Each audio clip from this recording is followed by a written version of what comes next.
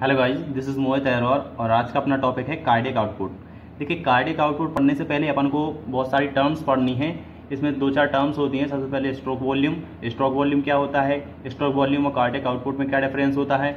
और एक और बताई गई है कार्डियक इंडेक्स तो अपन ये जानेंगे और कार्डियक आउटपुट देखेंगे कि किस, क्या कहलाता है? वेंटिकल से पंप होना ब्लड तो दोनों वेंटिकल का बराबर होता है क्या? तो अपन देखते हैं cardiac output cardiac output is the amount of blood blood pumped from each ventricle तो दोनों वेंट दोनों वेंट्रिकल में से किसी एक मतलब दोनों का बराबर ही ब्लड फेंका जाता है राइट या लेफ़्ट किसी को भी ले लें अपन तो ईच वेंट्रिकल के द्वारा जितना ब्लड किसमें पंप आउट किया जाता है, उसको क्या बोलते हैं मान लो कार्डियक आउटपुट तो जो लेफ़्ट वेंटिकल है, वो किसमें भेजेगा? अपन के एओटा में भेजेगा और अपन का राइट वाला वेंटिकल वो किसमें भेजेगा? पलमोनरी आर्टरी में भेजेगा, ठीक है? तो ईच वेंटिकल के द्वारा जो ब्लड पंप किया जाता है, उसको क्या बोलते हैं मान लो कार्डियक आउटपुट ठीक है? It refers to left ventricle output through aorta तो वैसे इसको जनरली मान लिया जाता है कि लेफ़्ट वेंटिकल किसमें फेंक रहा है? एओटा में ब्लड फेंक रहा है। तो इसी को क्या बोलते हैं अपन लोग? कार्डियक आउटपुट ठीक है? Cardiac output express in three ways तीन तरह से अपन कार्डियक आउटपुट को देख सकते हैं। सबसे पहले स्ट्रोक वॉल्यूम स्ट्रोक वॉल्यूम क्या चीज़ होती है? मिनट वॉल्यूम क्या होता है? और कार्डियक इंडेक्स तो stroke volume it is the amount of blood pumped out by each ventricle during each beat तो देखिए, प्रत्येक वेंट्रिकल के द्वारा मतलब हर एक वेंट्रिकल के द्वारा हर एक बीट के दौरान मतलब जितनी बार दिल धड़क रहा है, उतने टाइम उतनी बार क्या करना ब्लड को पंप करना क्या कहलाता है अपन का स्ट्रोक वॉल्यूम तो स्ट्रोक वॉल्यूम लगभग कितना होता है? 70 एम इसकी वैल्यू कितनी होती है? सेवेंटी एम तो हर एक बीट के दौरान कितना? सत्तर एम फेंक रहा है, ठीक है? और जबकि अपन का हाथ कितनी बार धड़कता है? बहत्तर बार धड़कता है, ठीक है? तो सत्तर को अगर बहत्तर से मल्टीप्लाई करेंगे तो अपन का क्या आ सकता है? कार्डियक आउटपुट या मिनट वॉल्यूम आ सकता है। तो स्ट्रोक वॉल्यूम क्या है? केवल ई बीट के दौरान, केवल एक बीट के दौरान, जो कि पॉइंट एट सेकंड के लिए होता है तो क्या कहलाता है अपन का स्ट्रोक वॉल्यूम ठीक है? It is the difference between end diastolic volume and end systolic volume तो देखिए एंड डायस्टोलिक डायस्टोलिक वॉल्यूम मतलब जब अपन का वेंट्रिकल भरता जा रहा है, बहुत सारा ब्लड एट्रिया से आता जा रहा है तो ये बहुत ज़्यादा भर जाएगा, ठीक है? और फिर इसको क्या करेंगे, अपन पंप कर देंगे ईओटा में। तो ये जब बहुत सारा भर जाएगा वेंट्रिकल तो इसमें लगभग कितना 130 से 140 एम तक ब्लड भर जाता है, ठीक है? अब इसको फेंकना कितना है? 70 तो 70 इसमें से माइनस कर देंगे अपन लोग तो लगभग इसमें से आ जाता है 60 से 70 एम तो इतना क्या है? इसमें बचता है। तो जो एंड डायस्टॉल के एंड तक जितना वॉल्यूम था, उसको बोल देते हैं अपन एंड डायस्टोलिक वॉल्यूम और सिस्टोल के बाद में जो बचा, उसको क्या बोल देते हैं मतलब एंड सिस्टोलिक वॉल्यूम तो एंड डायस्टोलिक वॉल्यूम में से एंड सिस्टोलिक वॉल्यूम को जब अपन माइनस करते हैं तो अपन की कितना आता है? सेवेंटी एम तक आ जाता है, जिसको क्या बोलते हैं, अपन लोग स्ट्रोक वॉल्यूम बोलते हैं, ठीक है? नॉर्मल वैल्यू कितनी हो जाती है? सत्तर एम जो कि सिक्सटी से साठ से अस्सी के बीच में वेरी रहती है, ठीक है? When heart rate is normal जब हार्ट रेट नॉर्मल रहती है, तब इतना सत्तर तक आता है। अगर बहुत ज़्यादा बढ़ गई या कोई एक्सरसाइज कर रहे हैं या फिर दौड़ के आए हैं तो बहुत ज़्यादा स्ट्रोक वॉल्यूम जनरली ज़्यादा रहता है, जैसे एथलीट्स वगैरह में। अब देखते हैं अपन मिनट वॉल्यूम मिनट वॉल्यूम दरअसल इसका नाम मिनट इसलिए रखा गया है क्योंकि जब अपन स्ट्रोक वॉल्यूम को एक मिनट से मल्टीप्लाई करेंगे तो अपन क्या मिनट वॉल्यूम निकलता है. मिनट वॉल्यूम एक तरह से क्या है? कार्डिक आउटपुट ही है, क्योंकि कार्डिक आउटपुट भी क्या बताता है? एक मिनट में कितना ब्लड पंप किया अपन ने.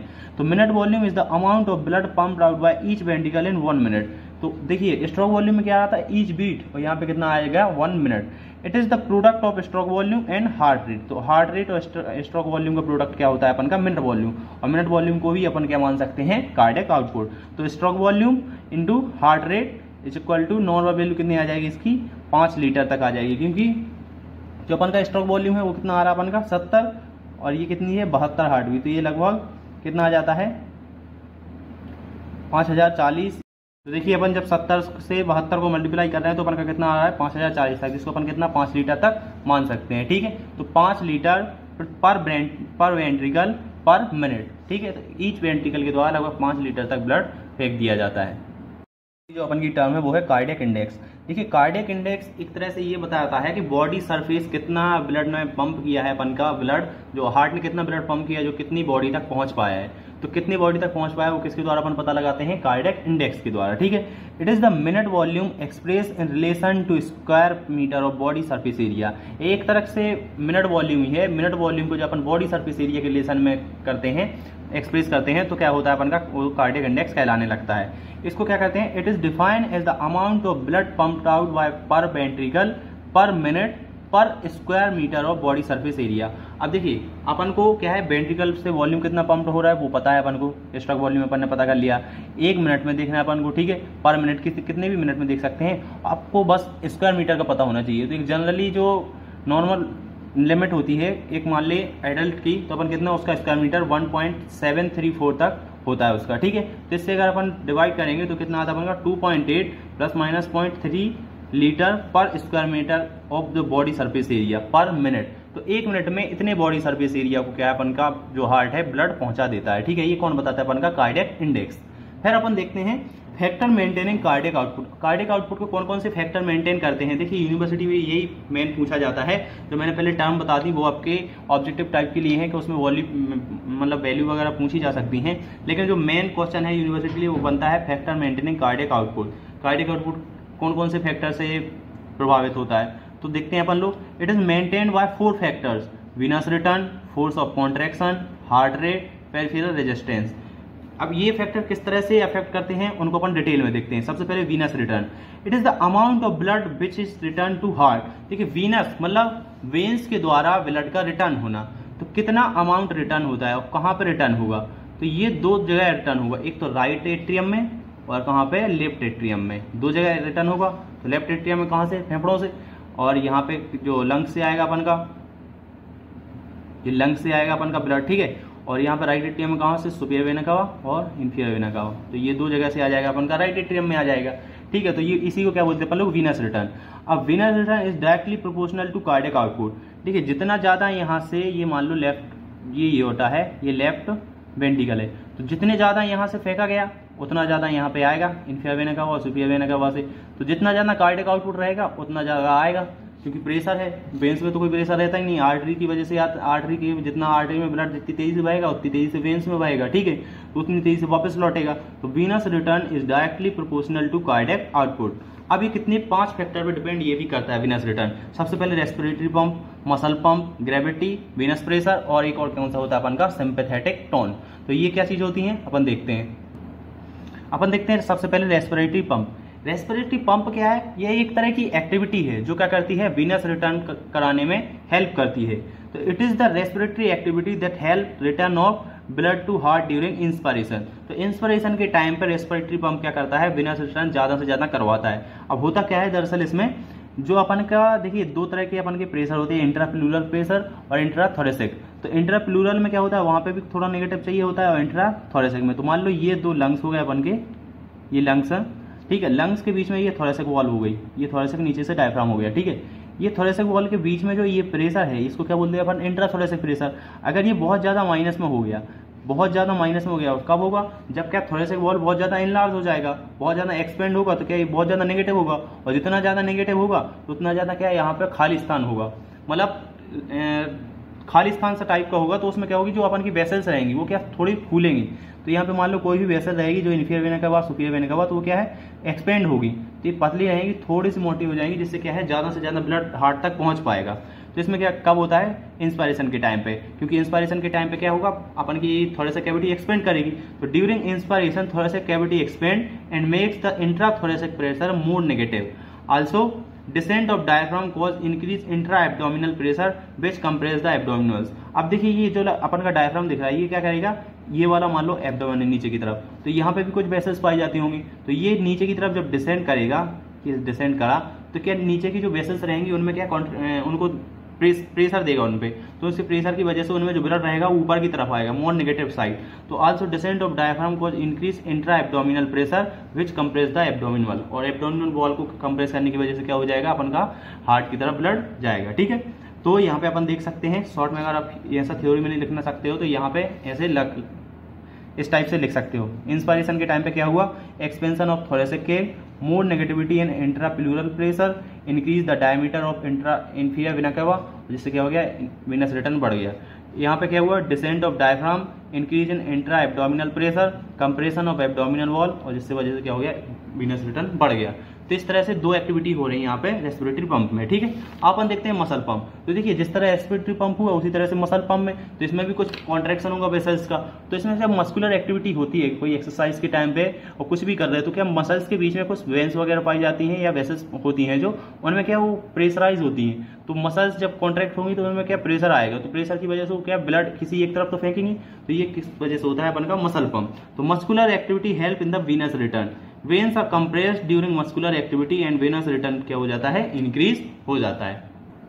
यहाँ पे अपन देख सकते हैं मसल पंप किस तरह से काम कर रहा है. सबसे पहले एक वेन क्या कर रही है? उस मसल से जब गुजर रही है तो उसमें से क्या है? ब्लड पास हो रहा है. तो ब्लड पास हो रहा है, देखिए मसल्स के टाइम पे तो एक बहुत सारा ब्लड जब यहाँ पे एक्यूमुलेट हो जाएगा, यहाँ का जो प्रोक्सिमल वॉल क्लोज है अभी, और डिस्टल वॉल ओपन है तो यहाँ पे ब्लड चला जा रहा है, ठीक है? तो ये क्या हो रही है? फूलती जा रही है। अब थोड़ी देर बाद ये डिस्टल वॉल क्लोज हो गए, और फिर यहाँ पे मसल का कॉन्ट्रेक्शन हुआ, जिसको क्या बोल रहे अपन? मसल पंप बोल रहे हैं, जिसकी वजह से क्या बहुत तेज़ी से ब्लड कहाँ पे जाएगा? हार्ट की तरफ़ जाएगा। तो मसल पंप की वजह से भी अपन का क्या है? वीनस रिटर्न बढ़ जाता है। अब अपन देखते हैं तीसरा फैक्टर है, जो कि है ग्रेविटी ग्रेविटी किस तरह से? देखिए ग्रेविटी अपन कोई, जब व्यक्ति खड़ा होता है बहुत देर तक तो क्या होता है, उसका जो ऊपर से पूरा ब्लड होता है ग्रेविटी की वजह से नीचे की तरफ़ आने लगता है। इसी वजह से क्या है, जो व्यक्ति ज़्यादातर खड़े होते हैं या जिनकी ड्यूटी होती है, ज़्यादातर खड़े होने की, जैसे गार्ड वगैरह रहते हैं, उनमें क्या ज़्यादा वाल झड़ने की समस्या होती है, क्योंकि उनके सिर तक अच्छे से न्यूट्रिशन नहीं पहुँच पाता, क्योंकि अच्छे से ब्लड सप्लाई नहीं होती, कई लोगों को चक्कर आने लगते हैं खड़े खड़े तो इसी वजह से, क्योंकि प्रॉपर ब्लड सप्लाई नहीं हो रही है, इस वजह से क्या होता है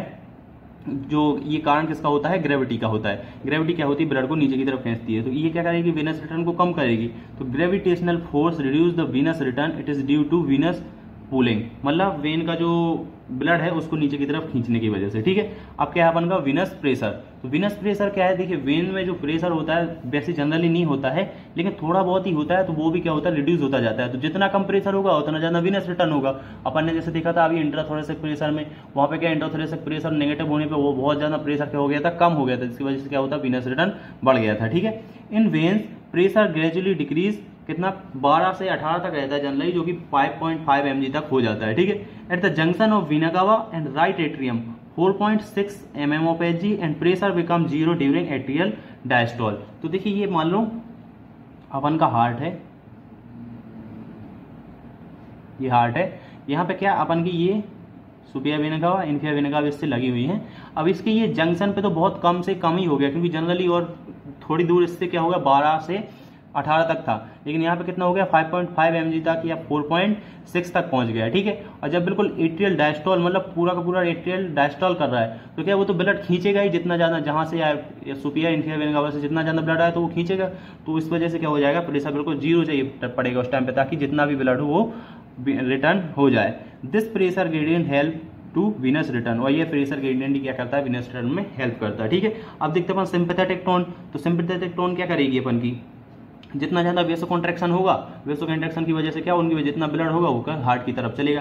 तो it produce vaso contraction it pushes the blood toward heart and increase venous return sympathetic tone होती है जो, पर सिंपथेटिक टोन इस तरह से ये है कि कोई वेसो कॉन्ट्रेक्टर्स इम्पल्स जनरेट हो रहा है बन के तो वो क्या करेंगे? वेसल्स को कॉन्ट्रैक्ट करते हैं। तो लगातार इम्पल्स जनरेट होने की वजह से क्या वो टोन टाइप की बन जाती है सिंपथेटिक टोन मतलब वो लगातार कॉन्ट्रैक्ट हो ही जा रहा है। इस वजह से क्या होता है ब्लड एक तरफ़ आता है, अपन आगे देखेंगे वेगल टोन होती है कुछ तो ये सब वर्ड अपन आगे देखने वाले हैं। तो इस पर अपन बस इतना याद कर लो कि वैसो कॉन्ट्रेक्शन हो रहा है। वैसो कॉन्ट्रेक्शन होने की वजह से क्या है, अपन का ब्लड हार्ट की तरफ़ हो रहा है, और ये वैसो कॉन्ट्रेक्शन क्या करेगा विनस रिटर्न बढ़ाएगा, ठीक है? देखिए, अभी तो अपन ने देख लिया है विनस रिटर्न विनस रिटर्न को कौन कौन से फैक्टर अफेक्ट कर रहे थे वो विनस रिटर्न की वजह से क्या अपन का कार्डियक आउटपुट किस तरह से अफेक्ट हो रहा था, ठीक है? अब अपन देखने वाले हैं फोर्स ऑफ़ कॉन्ट्रेक्शन हार्ट कितनी तेज़ी से कॉन्ट्रैक्ट हो रहा है, इस बात पे भी डिपेंड करता है कार्डिक आउटपुट जितना ज़्यादा कॉन्ट्रैक्ट होगा, उतना ज़्यादा कार्डिक आउटपुट होगा, उतना ज़्यादा वो ब्लड बाहर की तरफ़ फेंका। भाई, जितनी ताकत से कोई ब्लड फेंक रहा है तो मतलब जितनी ज़्यादा से कोई कॉन्ट्रैक्ट होगा तो उतनी ज़्यादा ब्लड फेंका जाएगा, ठीक है? तो cardiac output is directly proportional to the force of contraction force of contraction जितना ज़्यादा होगा तो कार्डियक आउटपुट भी उतना ही ज़्यादा होगा। अब फोर्स ऑफ़ कॉन्ट्रेक्शन भी काय पे डिपेंड करता है? अगर cardiac output force of force of contraction पे डिपेंड करता है तो भाई फोर्स ऑफ़ कॉन्ट्रेक्शन भी किसी चीज़ पे होता होगा। तो वो डायरेक्टली प्रोपोर्शनल होता है initial length of muscle fibres इसका क्या मतलब है? मीन्स जो अपन की मसल्स होती हैं, वो मसल फाइबर पहले से कॉन्ट्रैक्ट की अवस्था पे तो नहीं है। कॉन्ट्रेक्शन में तो नहीं है। वो बिल्कुल रिलैक्स है या नहीं? उनको जो लेंथ होती है इनिशियल लेंथ वो ठीक है कि नहीं? मतलब मान लो ये अपन का इनिशियल लेंथ है किसी फाइबर की, अगर उसको थोड़ा भी वज़न दिए तो क्या थोड़ी सी घट जाती है, ठीक है? ये क्या आप पढ़ेंगे अपन लोग? मसल फिजियोलॉजी में फ्रेंक स्टार्लिंग लॉ पढ़ेंगे तो वहाँ पे मैं अच्छे से एक्सप्लेन करूँगा कि क्या होता है ये फोर्स ऑफ़ कॉन्ट्रेक्शन और क्यों इनिशियल लेंथ पे डिपेंड करता है? देखिए, क्या होता है? मान लो, अपन का जो हाथ है, अपन पहले क्या है, थोड़े बहुत वज़न पकड़े हुए हैं ईंटे टाइप की उठा रहे हैं तो उसमें क्या होता है, एक दो उठाते हैं तो कॉन्ट्रेक्शन होता जाता है। लेकिन क्या होता है, फिर जैसे जैसे उसका वज़न बढ़ाता जाता है तो अपन की क्या होती है ताकत घटने लगती है तो अपन का हाथ नीचे की तरफ़ जाएगा। ठीक है, अगर मान लो हाथ पे ही रख रहे हैं तो नीचे की तरफ़ जाएगा, क्योंकि अपन का जो कॉन्ट्रेक्शन की जो क्षमता थी, वो घटती जा रही है। लेकिन इनिशियली अपन बहुत सारा वज़न ले सकते हैं, अगर इनिशियली उठाएँ। तो एक एक अपन बहुत भारी चीज़ उठा लेते हैं, लेकिन जब वज़न धीरे धीरे बढ़ाया बढ़ाया जाता है तो एक छोटी सी चीज़ भी बहुत भारी लगने लगती है।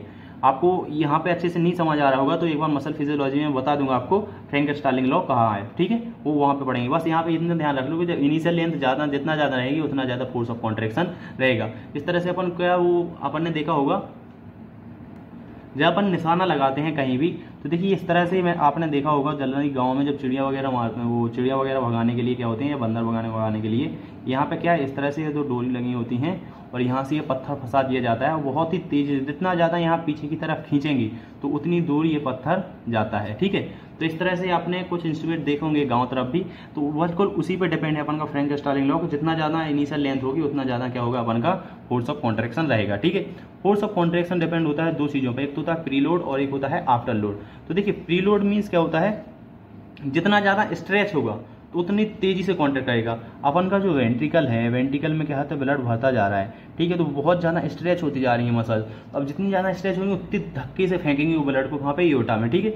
It is the stretching of cardiac muscle fibres at the end of diastole just before contraction post contraction के तुरंत पहले जितना ज़्यादा खिंच जाएगा, उतनी तेज़ी से क्या है, वो ब्लड को पंप करेगा, ठीक है? If preload increase cardiac output क्या हो जाएगा इंक्रीज हो जाएगा, ठीक है? आफ्टर लोड क्या है? आफ्टर लोड एक तरह से ऐसा है कि किसी अगेंस्ट या किसी कोई अवरोध है सामने, उसके अगेंस्ट अपन को क्या करना है? कॉन्ट्रेक्शन करना है। तो किसी के अगेंस्ट कॉन्ट्रेक्शन करना क्या अपन का हो जाएगा? आफ्टर लो देखिए, ये मैंने ये आपको अभी इंस्ट्रूमेंट बताया, इसमें क्या अपन को कोई चिड़िया वगैरह मारते हैं तो इसमें क्या कहते हैं? पीछे की तरफ़ बहुत तेज़ी से खींचेंगे। तो जितना ज़्यादा खींचेंगे, वो क्या अपन का प्रीलूड हो गया। जितना ज़्यादा खींचेंगे, उतना ज़्यादा अपन की ये पत्थर का आउटपुट रहेगा। लेकिन अगर सामने से कोई दिक्कत आ गई, झाड़ी वगैरह आ गई तो वहाँ पर क्या वो पत्थर रुकेगा। तो वो क्या हो जाएगा, अपन का आफ्टर लोड हो जाएगा। मतलब वहाँ पे फंस के अपन का पत्थर ही निक, आगे निकल पाएगा। तो वो एक तरह का आफ्टर लोड मतलब किसी के अगेंस्ट अपन को वो पत्थर फेंकना है। तो इस तरह से क्या हो जाएगा after load.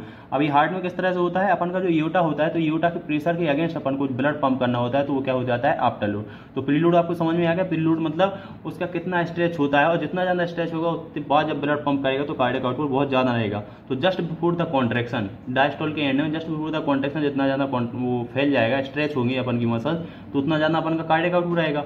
After load means अगर जितना कम प्रेशर रहा योटा में तो उतनी तेज़ी से अपन का क्या होगा? कार्डिक आउटपुट होगा। ठीक है? It is the force against which ventricle contract and eject blood force is determined by arterial pressure देखिए आर्टेरियल प्रेशर या योटा का प्रेशर तो आर्टरी में आर्टरी में जितना ज़्यादा प्रेशर रहेगा तो उतना कम तरीक, कम जा पाएगा कार्डिक आउटपुट अगर थोड़ा कम प्रेशर रहा तो बहुत तेज़ी से तुरंत फेंक दिया जाएगा कार्डिक आउटपुट तो cardiac output is inversely proportional to afterload तो आफ्टर लोड के इनवर्सली प्रोपोर्शनल हो जाता है। ठीक है? अब हार्ट रेट भाई, जितना तेज़ी से कांटेक्ट करेगा, ये तो जनरल सही है। जितना ज़्यादा तेज़ी से कांटेक्ट करेगा तो उतना ज़्यादा क्या रहेगा अपन का कार्डिक आउटपुट तो cardiac output is directly proportional to the heart rate ठीक है?